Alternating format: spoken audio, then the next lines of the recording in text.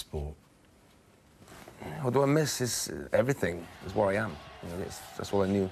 From age of 10, you know, to be to be a champion, that's what I miss. You know, to fight in front of the big crowd and the buzz, the adrenaline, and euphoria is just you know amazing. Just being a, being a champion. Were you nervous ever going out, or was that adrenaline just sort of stored in? You mean in the fight? Yeah, beforehand when you were sort of going out, were, were there nerves? Or... It's it's mad. Like the, there would be nerves, but the day of a fight, I just be in the zone and it'd be adrenaline, you know, and I just be complete focused.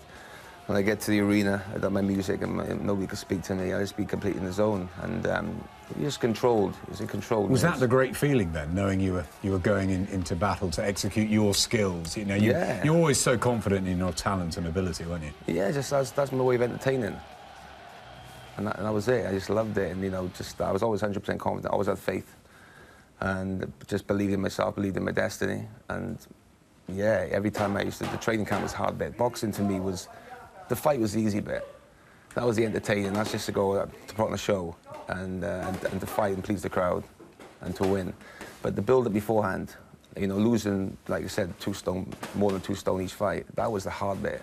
And I've put my dad as well for, for two months training camp. So, who's I done? I'm joking. I love you, man. But yeah, we had some right, some right banter in the gym, and it was great. So trust me, after them, they'd run up their mountains in Wales and spending two months in that gym, the fight's the easy bit.